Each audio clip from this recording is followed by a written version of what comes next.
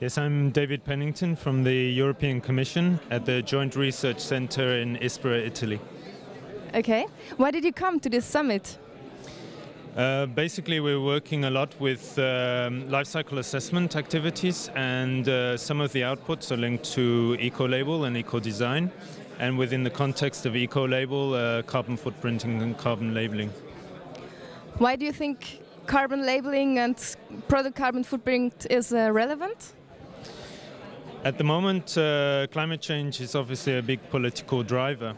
Um, so we see it very interesting, but we also see very important that uh, you should consider the full environmental uh, footprint, not just carbon labeling.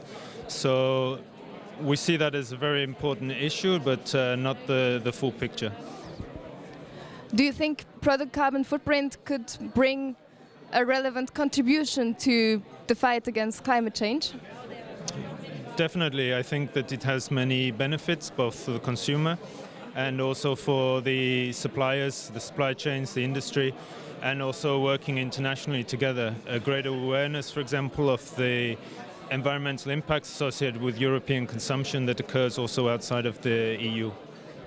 And what do you expect from this summit in, in this process?